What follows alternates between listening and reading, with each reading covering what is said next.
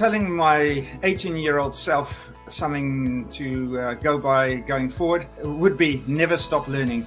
I guess when I finished university and I um, started working, one of the things that I switched off on initially was uh, to stop learning. You know, you just had enough at that stage. I think that is one of the biggest mistakes as well in my life. And um, had I already started reading a lot more business books and so forth, I think I would have been even further ahead today.